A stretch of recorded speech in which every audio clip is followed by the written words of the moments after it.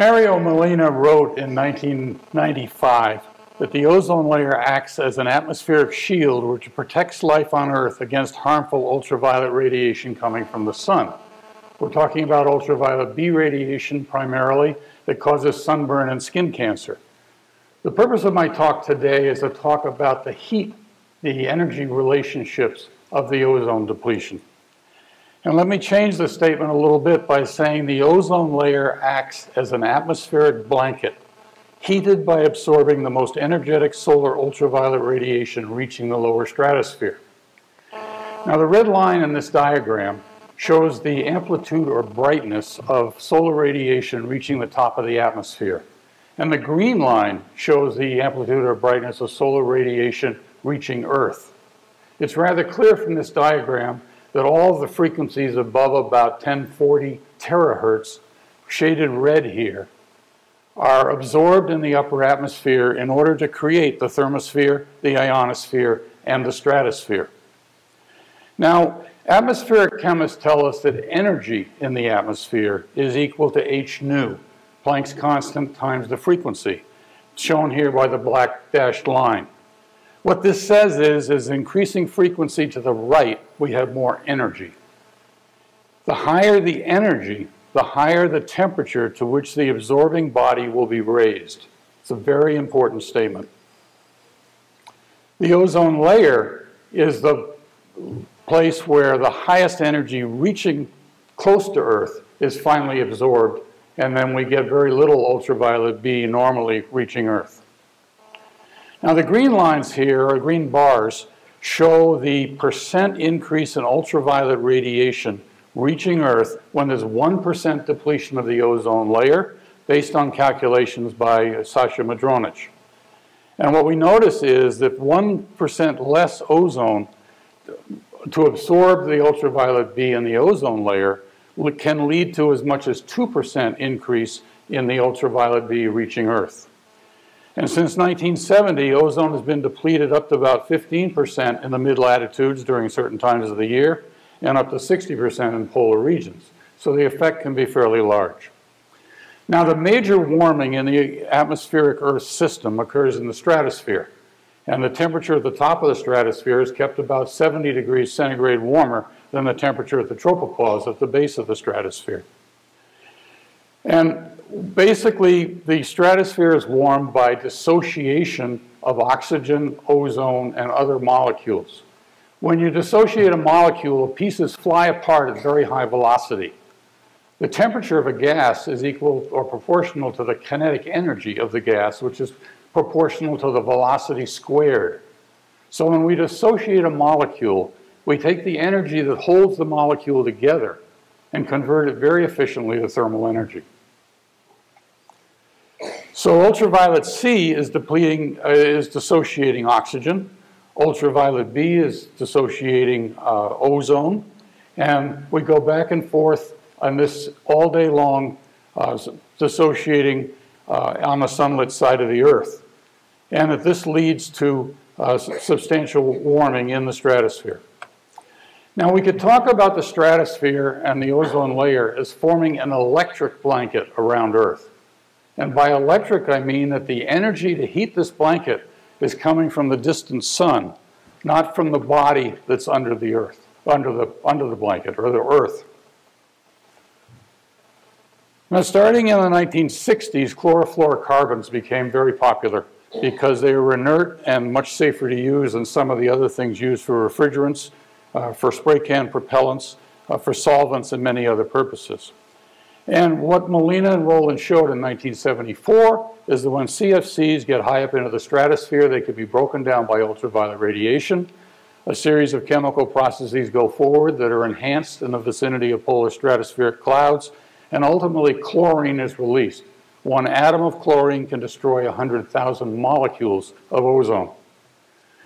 Now, in the 1960s, we began to increase the number of chlorofluorocarbons emitted into the atmosphere, shown by the green line. It takes about five years for CFCs to get high enough in the stratosphere to be broken down. And sure enough, we noticed that the ozone depletion started increasing, the black line. And then temperature started increasing, the red bars. Molina and Rowland, as I said earlier, pointed out this relationship between CFCs and ozone depletion, so that when we discovered the Antarctic ozone hole in 1985, we suddenly realized there was a serious problem here. And the Montreal Protocol was negotiated in record time, took effect January 1st, 1989, and that mandated the decrease in manufacturing of CFCs. Well, sure enough, by 1993, the increase of CFCs in the atmosphere stopped. By 1995, the ozone depletion in the atmosphere stopped.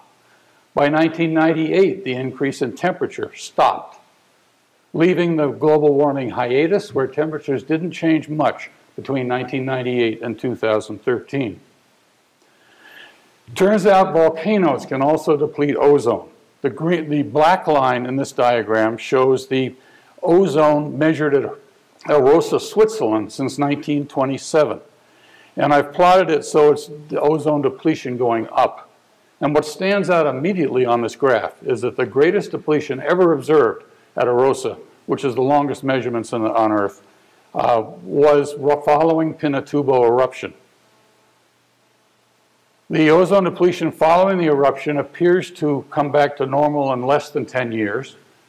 But notice the volcano Eyjafjallajökull in Iceland in 2010, which was a much smaller eruption, also caused major depletion. And in fact, the peaks and troughs of a lot of this line sh uh, shown on the graph do correlate with smaller volcanic eruptions. Now, when Mount Pinatubo erupted in 1991, it led to regional warming of about 4 degrees centigrade in northern Siberia, and northern North America, for December, February, following the June eruption of, of Pinatubo. But globally, it led to a half a degree cooling for the next three years. What's going on here? Basically, chlorine and bromine emitted from the volcano uh, appears to have depleted the ozone layer, allowing more ultraviolet B through the ozone layer, arriving at Earth, causing global warming. But in addition, megatons of sulfur dioxide and water vapor were erupted up into the lower stratosphere, forming a sulfuric acid aerosol and the molecules of this aerosol grew over many, many months until they were large enough to reflect and scatter sunlight, mainly ultraviolet light, given the size of the molecules involved. And so this led to global cooling. This kind of global cooling following explosive eruptions was well observed after Pinatubo, El Chichon, Agung, and in fact all of the major explosive eruptions throughout human history that have been documented. Now I'd like to talk about a totally different kind of volcanism, more like the volcanism we see in Iceland and Hawaii. This is effusive volcanism, not explosive, effusive. This is a picture of Barðarbunga in August of 2014. It started to erupt, and in six months, it put out enough lava to cover an area of 85 square kilometers. That's the size of the island of Manhattan. This was the highest rate of basaltic lava production since 1783 a truly exceptional event. In this case, the chlorine and bromine coming up from the basaltic lavas, which we know contain high, high concentrations of, of all the halogens, uh, can lead to depletion of the ozone layer, causing global warming. But no aerosols of any significance were formed, so we didn't get the cooling. So effusive volcanoes warm, explosive volcanoes cool. And this is probably the reason, Barðarbunga is probably the reason why 2015, it looks like it's going to be the hottest year on record or almost nearly the hottest year on record. Now, what's interesting when we look at temperature trends is that there are inflection points where there's sudden change in the temperature trends. For example, from 1945 to 1970, there was very little in change in temperature. From 1970 to 1998, there was a significant warming. From 1998 to 2013, there was very little change in temperature. And from 2014 to 2015, there was significant warming. Each of these inflection points can be explained very clearly by ozone depletion theory, as I've explained earlier in this talk. It's very difficult to explain these kind of inflection points by a slow increase in greenhouse gases. The greatest ozone depletion is also associated with the greatest regional warming. The ozone hole shown here for 2006 the Antarctic Peninsula had the minimum monthly temperatures rose as much as 6.7 degrees centigrade from 1976 to 2000. This was the greatest warming observed on the peninsula in 1800 years, and it is worldwide the greatest warming observed in 1800 years. Winter sea ice decreased about 10% per decade. Southern oceans warmed at twice the global rate. The Bellingshausen Sea warmed at about 1 degree centigrade and the formation of cold Antarctic bottom water decreased. In the 1920s, Gordon Dobson noted a close relationship between ozone concentrations and weather. This animation shown on the, on the right is the daily total ozone deviations in the northern hemisphere. And what you can notice right away is there are big changes, and they're going on all the time. The higher the concentration of ozone in the ozone layer, the more heat is generated in the ozone layer and the less heat reaches Earth. This has an effect on pressure highs and lows that we measure down on, on, near the surface. More ozone in the ozone layer is associated with surface low pressure areas. Less ozone in the ozone layer is associated with surface high pressure areas. Ozone also affects the tropopause height, the boundary between cooling from below and heating from above. In this particular case above Montreal, Canada, the tropopause suddenly dropped six kilometers in 12 hours, while ozone suddenly increased 37%. Depletion of the ozone strengthens the polar vortex, and it has a big effect on the jet stream, often moving it south, causing it to meander more, causing storms to move more slowly, and leading, ushering pockets of cold air down into mid-latitudes. Now, what if there had been no Montreal Protocol? I'm suggesting the data show that the decrease in chlorine um, by 1993 led to the decrease in temperature. If that chlorine had continued to go up with no Montreal Protocol, I would argue that temperatures today would be about 1.3 degrees centigrade in the northern hemisphere, whereas the observed increase was 0.8. And this says that the Montreal Protocol appears to have prevented about a half a degree centigrade warming in addition to the 0.8 degrees centigrade that appeared. Mario, thank you very, very much. How sure are we about greenhouse gases? If energy is equal to H nu, then ultraviolet B is 48 times more energetic than infrared absorbed by greenhouse gases. More energetic means when it's absorbed, it heats the body much higher temperature. Radiation from a body of matter cannot heat that same body of matter. This is basic thermodynamics. There are many inflection points that I showed you in the temperature trends. These are very hard to explain in terms of greenhouse gases.